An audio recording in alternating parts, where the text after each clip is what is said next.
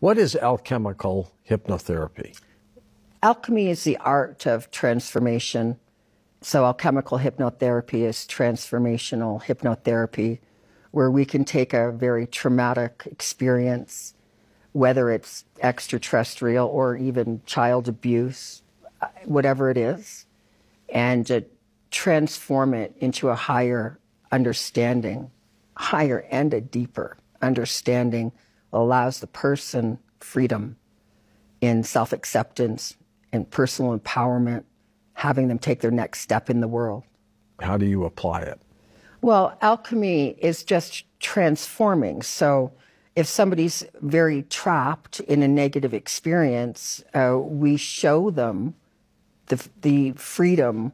You mean it's not making gold?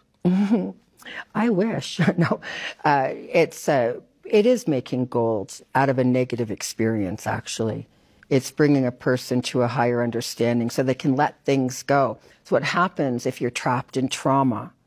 uh, you're not operating from your true self. Or if you have feelings about yourself that aren't positive, if you don't think you're good enough. And many people do suffer from this. What wow. happens is they can't reach their potential.